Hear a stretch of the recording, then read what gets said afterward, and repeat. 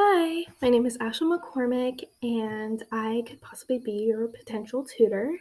Um, I am not a certified teacher, or I do not have any teaching credentials. However, I do have a year of tutoring experience, specifically with elementary math.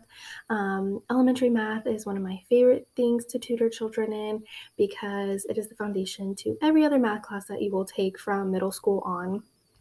And I also have over 14 years of math experience and learning just because I am a sophomore in college now. So I went through elementary school. I've done elementary school math for six years. So it is definitely something that I am knowledgeable in.